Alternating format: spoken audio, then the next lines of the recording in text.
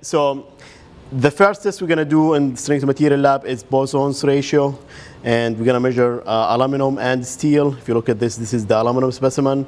We do have strain gauges on the longitudinal direction, another strain gauge on the uh, lateral or the horizontal direction. And we're going to connect the strain gauges to the strain indicator. This is the strain indicator and we're going to talk about it in a second. Let me first install the specimen in the machine. So it, basically, the first thing you do is to install the specimen in the bottom grip. Um, I'm going to change the control now to the um, handset by pressing the the unlock. Now it's green. Now I can control the MTS machine with the handset. I need to move this up a little bit. So I'm going to use the uh, arrow up, going up, going up all the way. Let me see. And the best practice is to install this on the bottom grip first. Um, make sure that you have the strain gauge is facing the right side. If you're putting the strain indicator on the right side, like on the table, if you have it on this side, maybe you need to have it face it on the left side. So first of all, let me open the grip. So I'm gonna open this guy and it's a little bit confusing. Okay, so now clockwise you open it and then I'm gonna store this on the bottom grip. You need to move it more up. And I always recommend to leave maybe a quarter inch gap in the bottom. So this is not a good practice. Just leave maybe a quarter inch on the bottom or maybe half an inch. And there you go now. I'm gonna tie it now. so let's tie this guy. So I'm going by counterclockwise. Uh, and there you go. Again, leave this quarter inch in the bottom. And now we're done with that. Um, I'm going to open the, bar the top grip. So let me open this guy. And you need to slowly move the bottom grip down. So let's go down now with this. I'm going down. Again, I'm gonna use the, uh, the arrow going down. So let's move down. Again, make sure the top grip is open. That's, at least you need like maybe um, quarter inch or something. Let's say go down now. Going down. And it's the same practice. You need to see leave a gap here. So maybe this is very much, let's stop here. Uh, I want to go to the screen where we have the load. So if you look carefully on the screen, we have load, it says load, uh, bound, and crosshead in inches. And the crosshead is very much the movement of the top grip. On the Poisson's ratio, it's not a factor. Later on, we may use it. But for now, I want to focus on the load. It says minus 4. That's very much 0. And if, if you, when you tie the specimen, look carefully here. I'm going to tie the specimen. I'm going to tie the specimen. And just remember the load there. It says minus 3. And if you tie it more, it's even increasing. And the reason behind that, when you tie the specimen, you are very much applying a load on that specimen. It's a tension force. And if you tie it more, now you are talking about 100 pound already on the specimen. And definitely we don't want to start the test with 150 or 140 pound. Right? We have to release that load. And to do that, and it's extremely tricky, and it's very sensitive, on the handset, we can use this wheel here. It's very sensitive. What you need to do to release that load is you need to move the top grip down and I'm talking about few millimeters. I'm not talking about inches, just few millimeters. This wheel here is very sensitive. If you just touch it, you're talking about 200 pounds just by touching that wheel. You have to be very sensitive, move it down a little bit, and by, by just touching the wheel. Now it's about in the range of maybe uh, 10 or 12 up to 15 pounds. You can just, you know, that, that's my zero and I will live with that. Okay. Again, we're going to use the wheel, not the arrows to release that load. And now we're going to put back the handset in its position. I want to connect the strain indicator. So let me get here, let me get this tool here. So basically this is the strain indicator and you turn it on by pushing this power button here. And if you look carefully, there are four channels, one, two, three, four. It can read simultaneously from four different strain indicators, strain, strain gauges. On this test, we only need two strain, strain gauges. So I'm going to do with the, let's say here, blue and white is very much the uh, longitudinal strain gauge. So I'm going to connect it to channel number one. And to connect that, you need the first two slots, one, two, just the first two slots, and it doesn't need to be in order.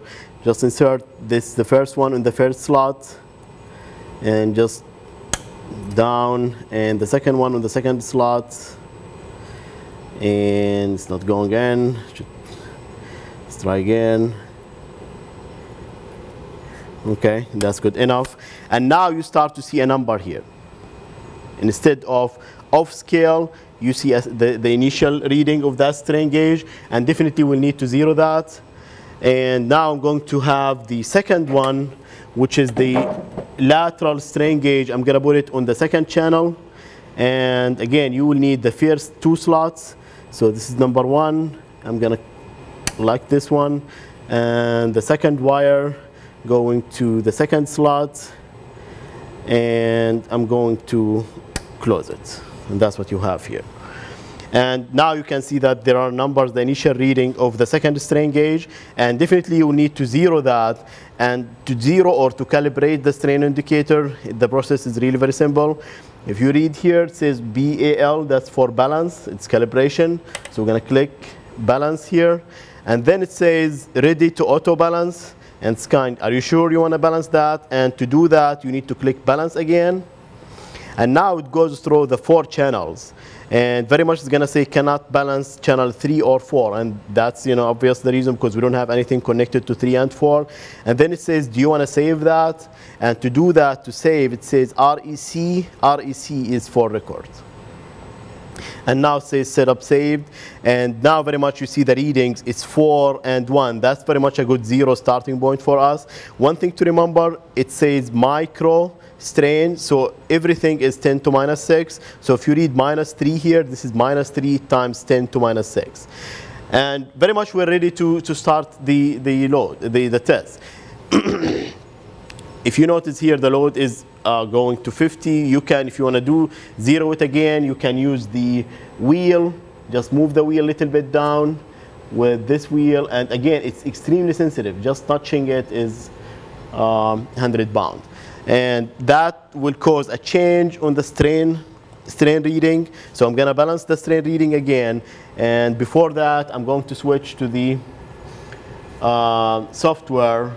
And let me balance this again. So to balance this, I'm going to balance and balance again. And then cannot balance 4, 3, 4, that's fine. And after that, I'm going to save it and we're ready to go now. Okay. Now to do the test, I want you to come here. Um, again, there are different methods here for each test. So I'm going to go to method, open method, and I'm going to scroll this down. And if you look carefully, it says Poisson's ratio test. This is the method I'm going to use for Poisson's ratio. So it's going to be Poisson's ratio test, and click OK. And then I'm to click OK here, and we're ready to go. and the way how we do that for aluminum, we're going to load up to 100 pound, stop, read the strain gauges, and then load again to uh, 200 pound, stop all the way to 500 pound.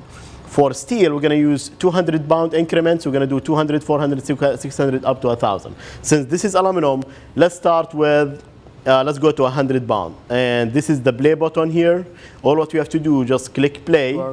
And gonna run the test. It's asked for the sample ID. Maybe um, you can say aluminum maybe if you want. Just it doesn't matter in fact. Let's click OK here. And then uh, sometimes ask you, do you want to uh, overwrite the existing file? Just say overwrite here, should be OK again. And then special comment about the soft, the specimen. Uh, again, this is really not important. The thickness and the width, it's not a factor in our test because we only measure strain, strain and we measure that with the strain gauges. So I'm gonna just write anything. The thickness is two inches and the width or the thickness is 0.25 maybe and the width is maybe two inches. Again, it's not a factor in our test. And then click OK. and then it applies the load, and you can see the load is going up now, going up, up, up, up, all the way to 100, I'm going to stop here.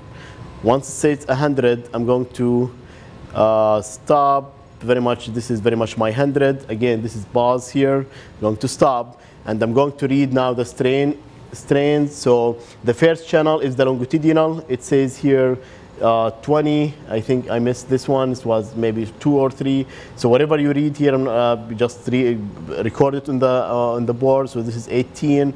It says here one. Just put one there. Um, and after that, you go to the second load. So I'm going to 200, and we're gonna go and click, click the pause again. So I'm going to click this, and now it starts to go up again all the way to 200. Once 200 again, I'm going to stop using the pause button here. 200, I'm gonna stop at 200. So this is very much my 200. I'm going to stop and go back to the strain indicator and then read, this is 44 and this is minus 3. And we know why it's minus because you have shrinkage or shortening on the width while you have elongation, elongation on the length. And you keep doing this all the way to 500. Just stop, read, and put everything on the board, the longitudinal strain and the lateral strain. Once you're done with the test, you want to release the load, the best thing if you want to release the load, now we're done here. Uh, let's say that you go all the way to 500, you can click here stop, and if you click stop here, and then it says remove specimen, and the best way to do that is to release the load again. You can untie the top grip, and that way very much the load will go to zero. And that's the end of the Poisson's ratio. You can remove the specimen from the bottom grip, and don't forget to remove also the from the strain indicator. So you need to remove all of this. And please do not touch the strain gauges. We don't want to lose the strain gauges because that way Kevin will be really mad. So now very much we're done with this. Just install this, the steel specimen and you're ready to go. It's really very short test and that's it.